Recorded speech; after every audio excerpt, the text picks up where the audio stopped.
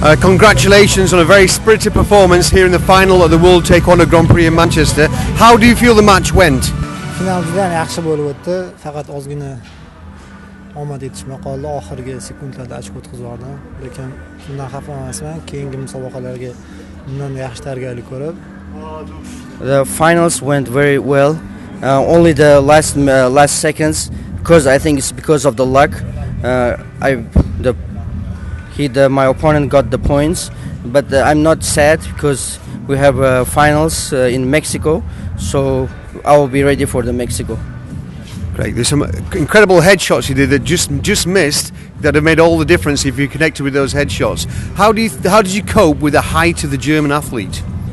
bu bo'y uzunlar bilan anaqa birinchi marta ishlash emas shu sababli nima deydi ozgina qiyin bo'ldiyu lekin mashg'ulotlarda iloji boricha bo'y uzunlar bilan shug'ullanib shunga qarshi kurashni o'rganaman Uh, this is the not the first time he's uh, with the long and the tall guys. So uh, during the training sessions, he tried to bring uh, from uh, other regions of Uzbekistan the tall guys so he can fight them.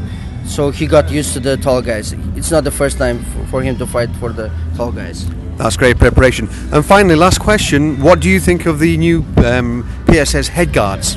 ozgina noqulaychiligi boru sababi shu yuziga tekkanda ko'rinmay qoladi keyin shu taom bilan tekkanda ko'proq ochko chiqmayapti sal noqulaylik his his qildik bu Uh, the the new PSS is uh, the headgear is very good, but the problem is uh, when hitting the, to the face because sometimes the referees and the video replay jury they don't see it, so we, we don't get the points.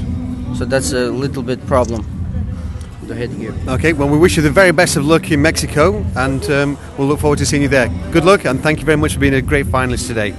thank you Thank you. Thank you very much.